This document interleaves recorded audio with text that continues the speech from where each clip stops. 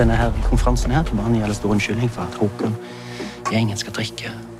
De fleste skulle døde for en natt på hotellrom.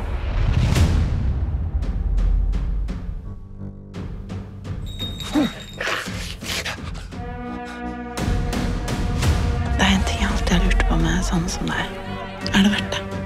Jeg har gjort mye dumt, Billy. Men jeg hadde ingenting med det ranet å gjøre. Det eneste jeg vet, er at noen er ute etter meg. At de har lagt inn jævla mye arbeid i det. De vet hele jævla livet mitt. Du tog med deg vapen og pengar fra et rån i Norge hjem til oss, hjem til meg og Lille. Forstår du hva dere har gjort? Det passet er utstedt i Mexico. Passet er falskt.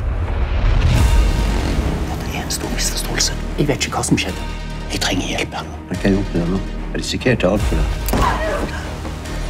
Ser jo ikke jævlig bra ut, dette her. For du kommer og så oppfører deg på den måten der. Hva faen tror du dette her er? Jeg har hjulpet deg hele ditt liv. Det er slutt med det nå, Pål.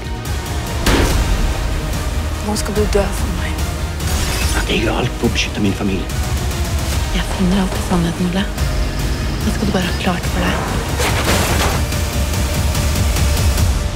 Jeg tror verken du eller jeg vet hvem Ole Hultén egentlig er.